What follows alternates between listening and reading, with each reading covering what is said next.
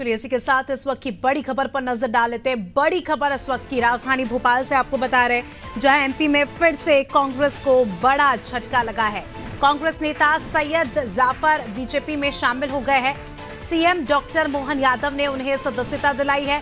खास बात आपको बता दें कि कमलनाथ के करीबी माने जाते हैं सैयद जाफ़र। और अब कमलनाथ का साथ छोड़ दिया, कांग्रेस का साथ छोड़ दिया और बीजेपी में शामिल हो गए हैं। इस वक्त का सबसे बड़ा अपडेट, सबसे बड़ी खबर लोकसभा चुनाव के लिहाज से भी काफ़ी ज़्यादा महत्वपूर्ण। कांग्रेस को एक और झटका लगा है मध्य प्रदेश में। लगातार हम देख रहे हैं, एक ही हफ़्ते के अंदर हमने देखा कितने सारे कांग्रेसी नेता बीजेपी में शामिल हुए और एक और बड़ा झटका, सैयद जाफ़र बीजेपी में शामिल हुए। तस्वीरों में आप देख सकते हैं मुख्यमंत्री ने उन्हें बीजेपी की सदस्यता दिलाई। चलिए हमारे साथ हमारे एसोसिएट एडिटर प्रभु पटेरिया जी जुड़ चुके हैं। प्रभु जी से ज़्यादा जानकारी ले लेंगे। प्रभु जी जिस प्रकार से हम देख रहे हैं लगातार जो है कांग्रेस को झटके पर झटके लग रहे हैं। एक और बड़ा झटका लगा।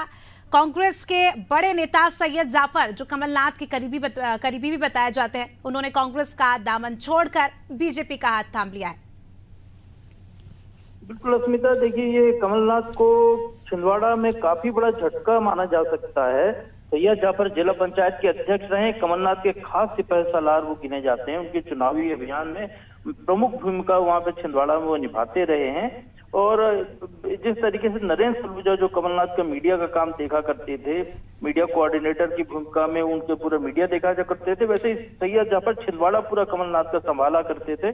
और ये एक बड़ा झटका कमलनाथ और नकुलनाथ के साथ ही कांग्रेस के लिए इसको माना जा सकता है, क्योंकि छिंदवाड़ा ही वो सीट है, जहाँ पर कि कांग्रेस के जीतने की संभावना भी थोड़ी बहुत जताई जा रही है। लेकिन बीजेपी ने उसको अपने टास्क पर लिया है। एक बड़ी बात यह है, तीन दिन पहले सैयद जाफ़र ने सीए को लेकर उसकी पैरवी की थी। उन्होंने कहा था सीए का जो विरोध कर रहे हैं उनको सोचना चाहिए कि ये भारत विरोधी कानून नहीं है। जो लोग देश में आए उनके हित का कानून है। मुस्लिमों के खिलाफ नहीं है। तो निश्चित तौर पर कांग्रेस की लाइन से हटकर उन्होंने वो बयान दिया था और उसी दिन ये माना जा रहा था कि सैयद जाफ़र बहुत जल्दी कांग्रेस छोड़कर बीजेपी में जा सकते हैं और आज वो हो गया है। मुख्यमंत्री मोहन यादव प्रदेश बीजेपी अध्यक्ष वी शर्मा ने उनको सदस्यता दिलाई है।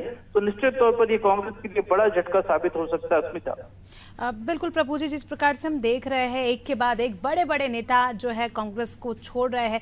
कहीं ना कहीं आगामी समय में लोकसभा चुनाव है उस पर इसका का, काफ़ी ज़्यादा इफ़ेक्ट पड़ता नज़र आ रहा है। कमी कहाँ रह रही है। आखिरकार क्या वजह हो सकती है कि एक के बाद एक जो है इस प्रकार से नेता कांग्रेस छोड़ रहे हैं? क्या उन्हें डर है कि आने वाले समय में उनका पॉलिटिकल करियर खतरे में है इस वजह से वो पार्टी छोड़ रहे हैं? देखिए अस्मिता एक कांग्रेस में नेतृत्व परिवर्तन हुआ है प्रदेश में। नया युवा नेतृत्व जीतू पटवारी को प्रदेश कांग्रेस अध्यक्ष की कमान सौंपी गई है। विधानसभा में नेता विपक्ष की ज़िम्मेदारी उमंग सिंघार को सौंपी गई है। तो जो बड़े नेता है, पुराने नेता है तो एक तरीके से जैसे बीजेपी का मार्गदर्शक मंडल बना, उस तरीके से दरकिनार कर दिए गए हैं। उनके साथ उनके पूरे समर्थकों की टोली ही दरकिनार हो रही है, क्योंकि कांग्रेस पार्टी लाइन वाली कार्यकर्ता नहीं तैयार करती। कांग्रेस में छत्रपों के कार्यकर्ता होते हैं। वो अपने नेता के साथ चलते हैं अपने नेता के पीछे चलते हैं।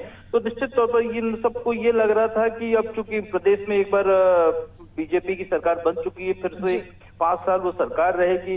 लोकसभा चुनाव में जो हवा चल रही है वो भी ऐसा दिख रहा है कि बीजेपी 370 का नारा लेकर चल रही है तो 370 के आसपास नहीं तो पिछला रिकॉर्ड तो बीजेपी दोहरा ही सकती। तो प्रदेश में कांग्रेस के लिए संभावनाएँ क्षीण होती जा रही हैं। पिछले 20 साल से कांग्रेस के तमाम कार्यकर्ता नेता विपक्ष की भूमिका निभा रहे हैं। उनके संसाधन पार्टी नहीं दे रही है। इस स्थिति में उनको राजनीति में क्षेत्र में यदि काम करना है तो कांग्रेस में उनको संभावनाएँ नहीं दिख रही है। ये ये प्रमुख वजह है जिसे कांग्रेस के तमाम नेता इन्हीं दोनों कारणों से पार्टी छोड़ते चले जा रहे हैं। बिल्कुल। नुकसान यहाँ पर पार्टी को हो रहा है। अब बहुत ज़्यादा ज़रूरी है एक टीम वर्क में रहकर काम करने की। अब देखने वाली बात होगी पार्टी आगे क्या कुछ रणनीति बनाती है वरना आने वाले समय में हम कह सकते हैं कि काफ़ी ज़्यादा नुकसानदायक इस प्रकार से अगर नेता छोड़ के जाते हैं पार्टी तो काफ़ी ज़्यादा नुकसानदायक साबित हो सकता है। बहुत बहुत शुक्रिया आपका। हमारे साथ जुड़ने के लिए प्रभु जी और तमाम जानकारी के लिए। तो देखिए इस वक्त की सबसे बड़ी खबर है ये। कांग्रेस नेता सैयद जाफ़र ने बीजेपी का हाथ थाम लिया है।